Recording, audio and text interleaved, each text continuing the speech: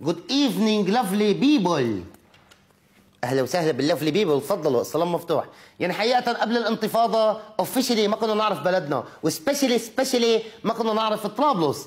عن جد فاجأتينا مو؟ يعني مرة أنا قلت لأمي بدي أطلع على طرابلس قالت يا حبيبي هلأ مش فاتحين باب الفياز. بدي أمي. يعني قالت خليها للصيفيه بركي بنروح مقنسو أو اسطنبول تقنسو يا مقنسو يا تقنسو المناطق هنيك بيصيفوا فيها وفيها نسوان كثير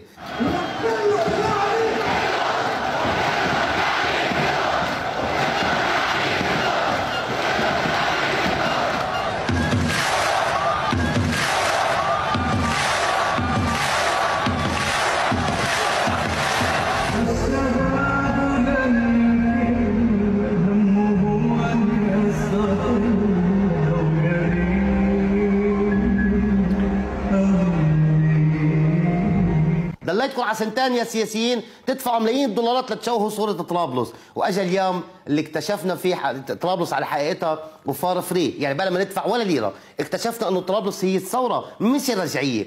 طرابلس هي الحضارة مش التخلف. طرابلس هي الحب مش الحرب. يعني قسما بالله إذا Tiësto أو Armin اجى على طرابلس ما بيعملوا هالأجواء اللي عملتوها أنتم يا طرابلسيين. مهرجان عالمي open buffet وببلاش. تحية لطرابلس وكل طرابلسي شريف ولكل المناطق اللبنانية اللي سلحت عباية الطائفية اللي كانوا لابسينها إياها مثل صيدا زحلة البقاع عقار جل الديب الذوق وإذا بدي أسميهم ما بيخلصوا شابوبا يا الكل. بس بدي أقول إنه هلأ اللي جاي أصعب بكثير من اللي كنا فيه، يعني نحن كنا عم نحفر بالدرس وهلأ وصلنا عند العصب للي ما بيعرف يعني معناته وصلنا على الوجع الحقيقي، لأنه كل واحد شاف إنه هالثورة شريفة وصادقه صار بده يجي ووب بينتش نتشه منها، ألا فقف، fuck off بالعربي يعني انقلع، امم عشان نحن واعيين لك. لو بتدلك تبيض طناجر من هان يا عم بكرة يا يوم لقيامه مش حتوصل لشيء مش حبتاخذ جزء ولا حب ولا حب تركب الموجة بهالقد ولا فتفوته مش حتفضل علينا. no way عشانك كذاب. أنت كنت بدك تعمل شيء كنت عملت قبل الثورة. بعدين كل واحد من السياسيين بيطلع بقول لك هال معهم حق هال مظلومين؟ طب يا خيي عن اختها الشغلة إذا نحن مظلومين ومعنا حق وهيك عم تصمصونا مثل الكلاب. كيف لو كان ما معنا حق مثلا؟ شو كنتوا عملتوا؟ يعني كنتوا بعتونا على AliExpress مش عم بفهم. بعدين يعني ما في يكون عندك حزب سياسي ونواب وأنا عم أقول لك أنت الفاسد وتقول لي آه معك حق وتكمل عادي داعس علي وماشي داعس على وجعي كمان. يعني مثل مثل اللي عم تبزق عليه قام انبسط صار بده شامبو. يعني excuse me نتفت كلامي بس يا جماعة.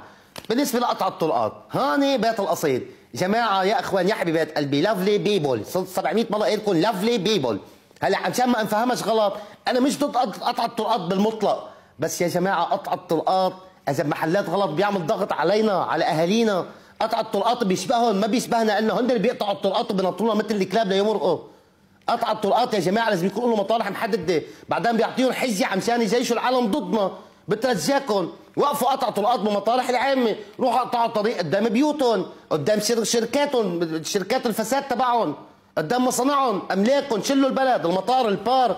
وقفوا سكروا هنيك يعني بس أي غلطة أنتم عم بتكمشوهم مكبس عشان يجيشوا يجيشوا ضدنا يفوتونا ببعضنا. عشان اذا فقدنا الثقة بالمواطن أو الناس فقدنا كل تعبنا. وبالنهاية من معه حق لا يخشى شيئا وتحية للست كرم الخياط كان معكم أبو طلال الصيداوي قناة الجديد. الله أكبر عدينا يا زلمة. قد ما عم بحضر أخبار حسيت حالي رشال كرم شكرا. good evening lovely رشال.